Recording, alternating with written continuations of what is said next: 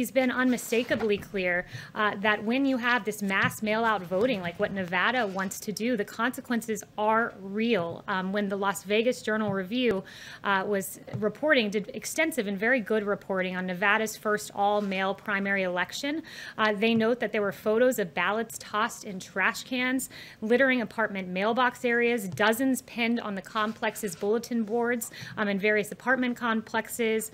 Um, and, and you have a postal worker who said, said that um, when she went to go deliver some of these ballots, in several cases, people had moved or died. She kept 65 ballots on her first delivery, 100 on her second. Um, it is riff with fraud um, and with delay, and that is what the president stands firmly against. He wants a free and fair election. Extensive research shows that there is fraud in vote by mail systems is extraordinarily rare. The president votes by mail, you vote by mail, and a dozen other top Trump administration officials vote by mail.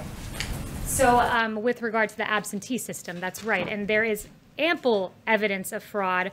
Um, I would point to the best example of this, and, and, very recent, was May 12th, New Jersey's special election in Paterson, New Jersey, um, where one in five mail-in ballots were found to be fraudulent in the election. Uh, New Jersey officials were charged in that case, um, and resident Ramona Javier said this, this is corruption, this is fraud. There are eight relatives and immediate neighbors she knows of listed as having voted, but who insist they never even received a ballot. There are ample uh, examples of fraud, and we can get those to more than just Paterson, New Jersey.